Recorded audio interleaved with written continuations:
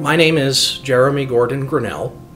I was, 10 years ago, a successful professor at a local seminary, a pastor at a growing church in the area, and over the course of 10 months, I destroyed my life. In a kind of a hideous cocktail of bad choices, I found myself in a 10 month emotional affair that pretty much destroyed me. A few months in, I was clinically depressed, suicidal, uh, lost a fifth of my body weight. And by the end, it, it, it only took about 15 seconds for me to destroy everything I'd worked for.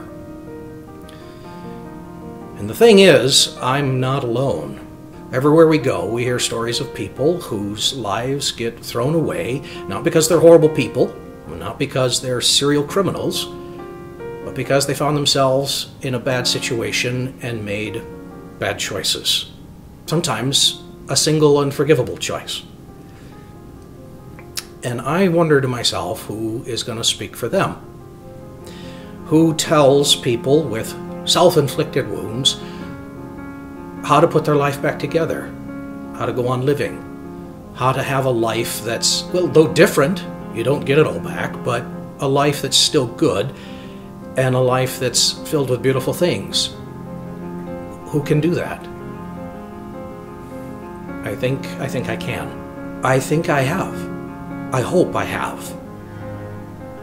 I put my life back together. I spent 10 years putting my marriage and my family back together. I started my own business. I became a professional audiobook narrator. I went back to my old college theater roots and became a community theater actor again. Uh, I, in short, I became a, a, a useful member of society again. I rebuilt my life.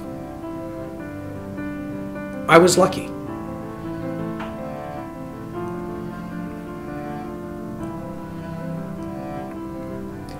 A lot of people can't.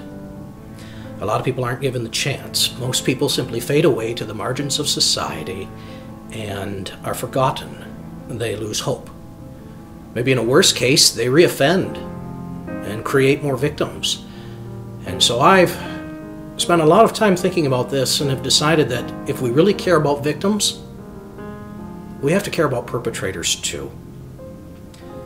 Because when we leave people without hope, without paths for redemption, without ways to redeem themselves and become productive members of society again, they lose hope.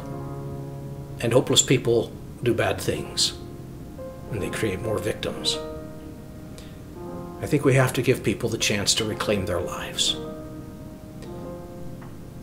That's why I wrote The Bellowing of Cain. It's a book written to people with self inflicted wounds. It's meant to give hope to people who've thrown it all away. And I've had to spend a lot of time thinking about how does one face one's victims? How does one come to terms with the evil that you've done? How do you survive? How do you grow through self inflicted trauma? My editor, when I put the manuscript in his hands, he looked it over and he said, Jeremy, there's nothing like this on the market. Nothing like this exists. And with his help, we were able to put the thing in front of uh, a number of the top literary agents in the country. And their feedback was unanimous. They all looked at it and said, "You're right. This is a remarkable book. There's nothing like it. It's it's useful. It's helpful. It's raw. It's it's candid. It's honest."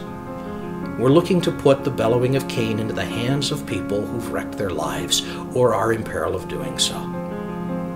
We really appreciate your help in telling this story. Thank you.